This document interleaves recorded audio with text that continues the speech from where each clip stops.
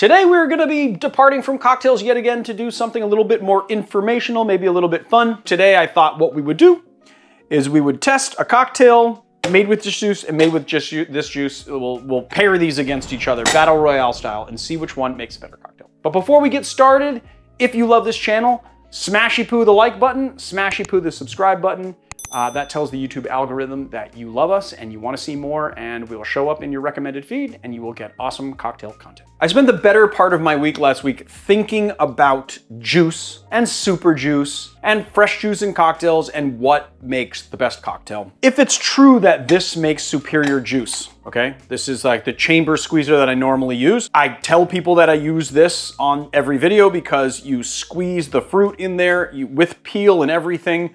Because you're squeezing the peel, you're extracting all of the oils in the peel, making a more vibrant flavored juice. And so therefore, it extracts better juice as like an a la minute, just extracting juice. But if you're doing something that you are gonna be bartending for a lot more people, you're gonna have to pre-juice and the normal citrus reamer is designed to ream the inside of the fruit, ignoring all the oils, right? So normally I would just use that like an electric citrus reamer and you don't get that same benefit of, oil, of the oils. And then I realized that I had a masticating juicer and I thought, if it's true that this makes more vibrant juice because we're utilizing the peel, then the masticating juicer would be that very same solution for pre-juicing your juice.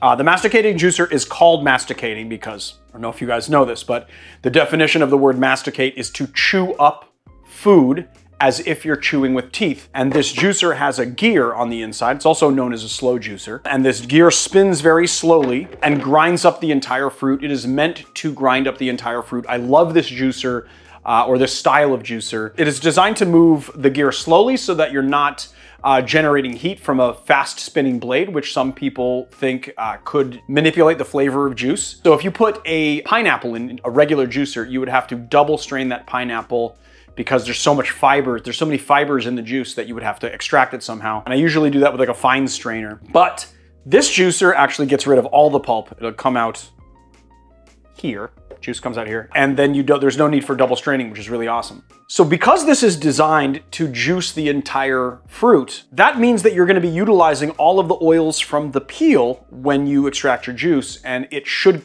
have superior juice. So today I thought what we would do is we would test a cocktail made with this juice and made with this juice. We'll, we'll pair these against each other, battle royale style, and see which one makes a better cocktail. First things first, let's use our juicer to extract our juice. Where's that start button? Here it is.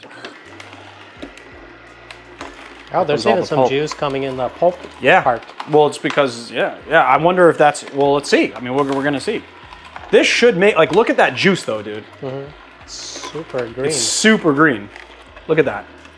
Mm-hmm. Question is, does it make a better cocktail? Because, you know, also a lot of people, they're always trying to avoid the pith, avoid the pith. We're actually making, I mean, the pith is here, but it it definitely extracted flavor from the pith mm-hmm. as well. Yeah, because it's like opaque.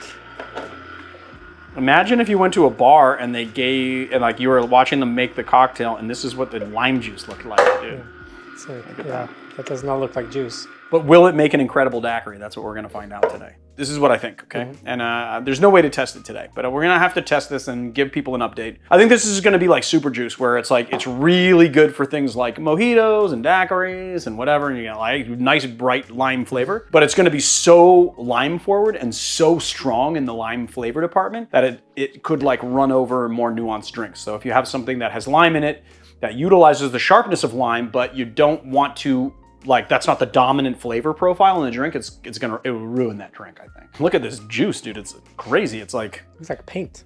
it is like paint. It's like you know what it's like. It's like uh, it's like uh, pastel green. Mm -hmm. like, if nothing else, this this episode is gonna give a, people a lot to talk about.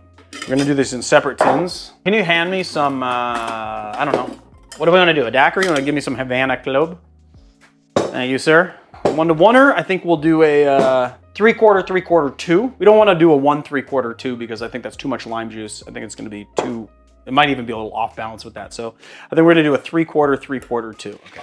We're going to cheat towards sweetness on this daiquiri a little bit.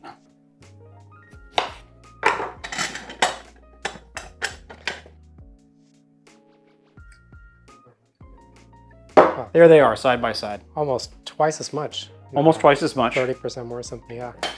And uh, look at the color difference, too. Wow, yeah. I mean, like, One looks like juice, the other one is like completely green and opaque. Yeah.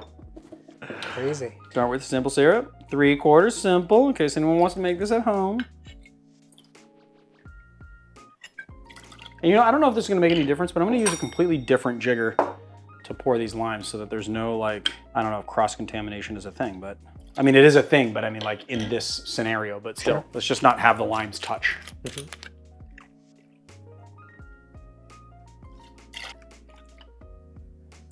Oh, well, that was a bit of a heavy pour. You were like, should I drink it? Should I not drink it? I saw was, that. I was, I was like, should I just drink the rum? But I thought better of it. Although there are gonna be a lot of people in the comments being like, you just wasted Havana Club, what's wrong with you? And it's like, dude, Havana Club is just like middling rum in every other part of the world. The only reason why people fetishize it is because you can't get it here. It's good rum, I like it. It's good mixing rum, but it's, it's you know, it's just, it's, it's, it's just, it's fine. You know, it's not like crazy incredible. Okay. Well, we're gonna have to drink out of uh, non-chilled glasses, but I think that's fine. Chilling inhibits flavor, so.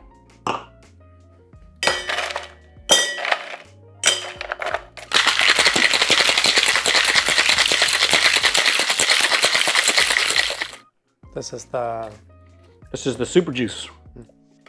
Well, not super juice. This is the uh, extracted with the slow juicer.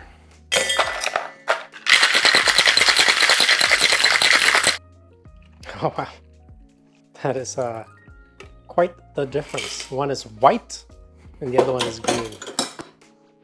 Yes, one is like white with a green tinge. The other one is green. The slow juicer one has a lot more foam. It looks like, right? Ah, yeah. You know, it's thicker foam, is what it. Well, I don't know. It's not more. No, it's not more. I think it's just more visible because against the green. maybe, yeah. Because if you look at it here, it's like it's very, very consistent foam. Maybe a little bit more, maybe a tinge more. But I, I think that the the the texture of this is going to be completely different. Yeah, All right. So which one should I do? Just like the regular Just- daiquiri first? right. Yeah, let's start with the baseline. Yeah, that's good. Lime flavored. Yeah, this is a daiquiri. It's nice. You know? The thing is, is that to use this more vibrant lime juice, all you need to do is just like respec your cocktails a little bit to adjust for it, adjust for the more vibrant lime. Whoa. Wow. And a little bit more bitter hmm. Because of the pit. Uh, like a mm-hmm. little but but it's not a, here's the thing. So a lot of people talk about pith and the bitterness that imparts as if it is something to be avoided because somebody told them you should avoid it and you should only get the pure lime flavor. But i kind of feel like the pith the bitterness of the pith actually in small quantities does a cocktail some service because that bitter flavor right I don't know if we should be avoiding it. I think that that bitter flavor helps to temper the sweetness. That said, this cocktail, it needs to have more sugar because it is, it's not super tart, like you're getting the balance of the sugar, but it's so lime forward. I mean, it's so lime forward, it almost runs over the rum. Like if you're gonna use lime juice like this, you should almost wanna use like a very robust, maybe aged rum or something like, the rum in this doesn't read, it's like all lime. I mean, you do get a little bit of the rum on the back end, but it's so flavorful that it's all lime. So this type of extraction is going to be really good for mojitos and daiquiris and stuff. If you want something that's super lime forward, you're definitely going to want like a two to one simple syrup, maybe even in the same ratio. It might really need that level of sweetness to kind of bring it up and balance it out properly. The question is, is like, is it better? I mean, that's a subjective thing. Yes. Yeah, I mean, it's just like more of the rum is lost in the lime here, I think, mm-hmm. you know? But it is super pleasant. It is super pleasant. So How's the mouthfeel? Is it thicker? the mouthfeel is thicker. It's a little bit more milkshakey. It's a little thicker. It's super clean though. I mean, there's not like a lot of like stuff. There's not like a lot of stuff floating around in there, but there's definitely more to it for sure. I don't know. I feel like I said like this is gonna like this versus this, and we're gonna crown a winner, but I, I don't think either one wins. I think they're completely different drinks, and you really need to decide what it is that you want with your drink. If you want something that tastes like a lime candy, you go with this one. Mm-hmm. If you want something that has a little bit more complexity and a little bit more dimension, you want to go with this one. And I know I made this one sound better because it has more dimension, I, but there are definite uses for this. So is this a new type of juice you should include in your arsenal? I would. Hmm. I would totally include it, especially if you want to use like little amounts of it to have like to like with maximum impact of flavor. Right. Like you could use little amounts to put in like a very striking kind of side flavor of lime in something. I would definitely utilize it for sure. I, I like those glasses. Where can I pick up a pair? Oh, do you like these glasses? These glasses are awesome. Actually, some of the top bartenders in the business are using these glasses. You can pick these glasses up on our Amazon store. All you gotta do is go to the description below and uh, click that link and you will be brought to the page where you can buy these. And you know what would be even better with those glasses? I think a dehydrated lime as a garnish on this would be like the creme of Oh the. yeah.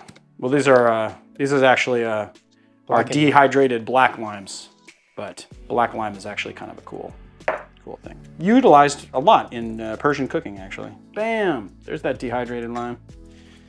Yum, smells so good. As Marius said, you can pick up garnishes, uh, the marvelous barfly garnishes on our website, theeducatedbarfly.com. Just go to the shop, check them out. We do lime, we do lemon, we do blood orange, we do orange. Uh, uh, we discontinued grapefruit for the time being. We might bring it back, I'm not sure. And they change seasonally. So as the seasons change, we kind of add and subtract some. Go get your garnishes, smashy poo the like button, smashy poo the subscribe button if you like this channel, and you will have more awesome, amazing cocktail content. I will see you guys on another time.